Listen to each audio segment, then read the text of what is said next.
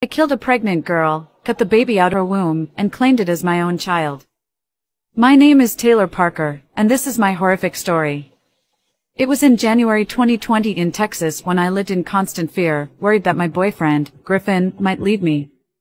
Since I couldn't have children after undergoing a hysterectomy, I decided on a horrifying plan. To bind my boyfriend to me, I ordered a fake belly from the internet, which made my body appear as if I were a pregnant woman and pretended to be pregnant for nine months. I created fake ultrasound images, wore maternity clothes, and even held a gender reveal party with friends and family. It was a popular event in the United States where expectant parents reveal the gender of their unborn child to guests. But in the end, my web of deception had to crumble. One day before the scheduled due date, which I extensively announced on social media, the unimaginable happened. I decided to kill my girlfriend and remove the baby from her womb to pass it off as my own child. Just before my actions, I watched numerous videos on childbirth and cesarean sections on YouTube. It was October 9, 2020, when I visited my pregnant girlfriend, Ryan Simmons Hancock, at her home. The 21-year-old was expecting her second child and was full of excitement, but her joy didn't last long. In an inconspicuous moment, I grabbed a hammer and smashed her skull. Then, I took out a knife and stabbed the girl 100 times while her three-year-old daughter stood shocked beside her. Afterward, I used a scalpel to open the abdomen of my dying girlfriend, remove the unborn baby, and drove to the hospital. Just a few miles from the crime scene, I was apprehended by the police for speeding. I claimed that I had given birth to a child on the side of the road who was no longer breathing. We were eventually taken to a hospital in Oklahoma, where the little girl was pronounced dead. The doctors quickly realized that I couldn't be the mother and had never been pregnant.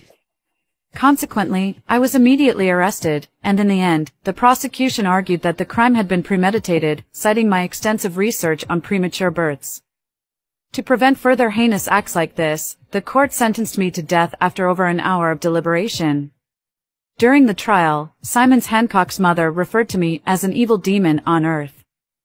I was violated by my father and gave birth to this child. I am Elizabeth Fritzl, 42 years old. For 24 years, my father imprisoned and abused me. It started when I was 11 years old. We lived in Amstetten, Lower Austria, in a house. Locked in the basement of our house, in a soundproofed cellar, I gave birth to this child. All conceived through the abuse of my father. Throughout those years, he hid my captivity from my family, including my own mother, making them believe I had joined a sect. One of my sons died shortly after birth. Three were raised with me since their birth, and the other three were adopted by my father and mother. They claim to have found them outside the house with a letter confirming abandonment. It was me who wrote those letters. My father dictated to me what I should write.